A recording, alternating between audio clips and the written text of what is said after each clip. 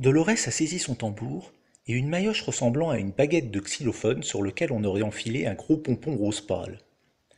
Elle commence à battre la mesure avec, un rythme qu'elle calque sur celui de son cœur qu'elle s'attache à faire battre en harmonie avec celui de toute la nature environnante. Elle se sait observer, et elle a conscience qu'elle va être testée, mise à l'épreuve.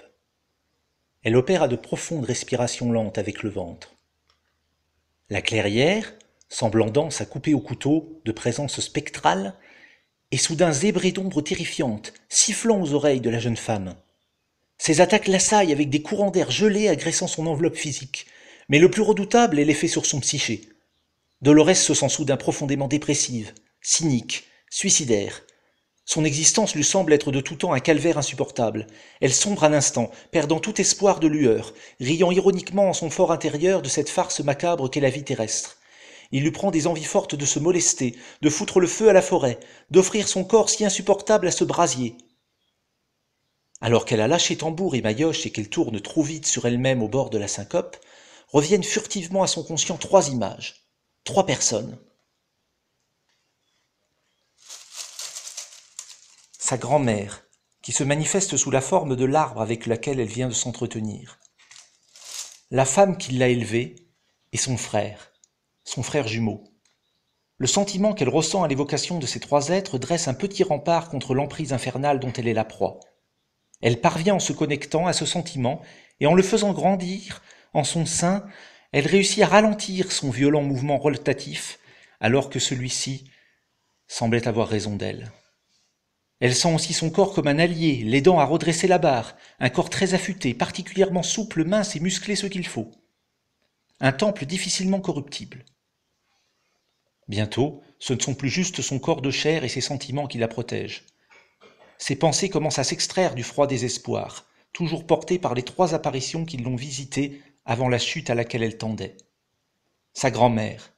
Elle est la bienveillance matricielle de la terre, la preuve que tout n'est pas qu'une désolation, la preuve que les gnostiques ont tort et que la matière n'est pas une création maléfique en soi. La femme qui l'a élevée, elle s'est occupée d'elle avec une intention noble, sans intérêt, et avec un espoir, une foi en elle. Elle doit s'en montrer digne. La vie n'est donc pas vide de sens. Son frère, il l'aime tant, il pense qu'elle est si forte. Elle n'est donc pas une créature impuissante et mal aimée. Mais Dolores ne se sent pas encore sauvée. Elle se sent en équilibre sur la corde raide au-dessus d'un fatal précipice. Elle a cessé de tourner. Sa tête est tombée en arrière. Des tremblements l'agitent. Son souffle est étranglé. Elle a une vision d'elle-même sur la gauche, une vision d'elle impérieuse, autoritaire et souriante qui cherche à l'entraîner dans l'abîme.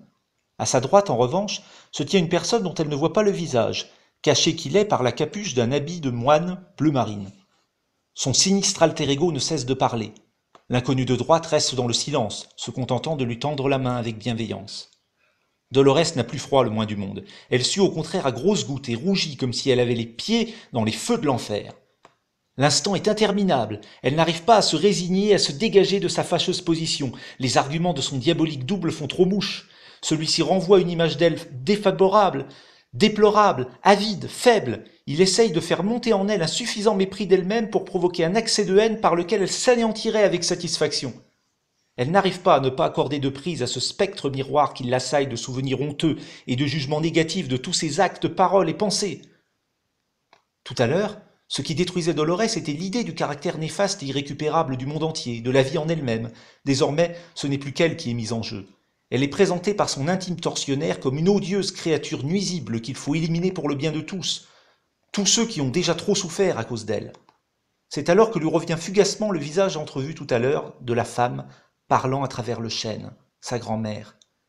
La vision de ce sourire et de ce regard d'amour infini lui donne la certitude nécessaire de sa valeur et de la valeur de la vie terrestre en général.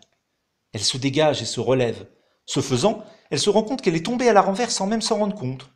Il faut dire qu'elle n'avait plus aucune perception de la forêt, mais de cette cave voûtée avec au milieu ce précipice au-dessus duquel elle était piteusement en suspension, encadrée d'elle-même et d'une présence inconnue dont elle ne distinguait que l'habit et la main droite tendue une main qu'elle n'avait finalement même pas attrapée pour se sentir d'embarras.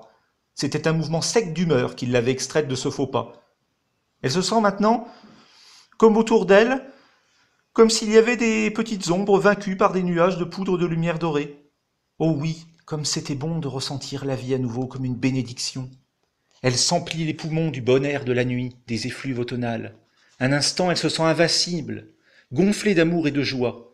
Elle improvise une danse, conjuguant mouvements tribaux des jambes et farandoles aériennes des bras et des épaules. Amérindienne en bas, indienne de l'Inde en haut. Elle ne comprend plus comment elle a pu être ainsi vulnérable, comment elle a pu douter. C'est comme un miroir que l'on passerait et dont l'autre côté serait dès lors inaccessible. Mais revoilà déjà un autre parasitage qui l'assaille, de la grisaille en pagaille, mais ce ne sont que des sensations, son mental n'est plus atteint, ce n'est que le ressenti du corps. Elle est traversée par des houles marécageuses, lui retournant tous les organes, lui donnant des aigreurs d'estomac et de spectaculaires hauts de cœur. Elle éructe tant et plus d'improbables, interminables cascades de sons sortis tout droit du film L'exorciste. Des chauves-souris et des oiseaux effrayés s'envolent bruyamment. C'est un vrai combat à bras-le-corps qui l'a fait chavirer sur elle-même, mais elle a l'ascendant. Elle est hors d'atteinte et triomphe des attaques. Les roues la libèrent à chaque fois de l'assaillant. À toutes ces entités particulières de tristesse, de pessimisme, de souffrance et de misère, elle irradie sa joie, son amour infini, et ce sont ces émotions positives qui contaminent l'ensemble. La lumière triomphe toujours de l'obscurité. Jusque-là, cela était tout de même éprouvant et nécessitait une détermination et une concentration maximale, mais les nouveaux courants qui l'assaillent sont instantanément pacifiés. Elle se laisse griser par cette sensation de victoire du bien sur le mal, par cette impression de pouvoir. Elle a donc un soupir de déception quand les assauts cessent et que tout semble rentrer dans l'ordre. Elle s'accorde un temps bien mérité de méditation après ses mouvementées péripéties.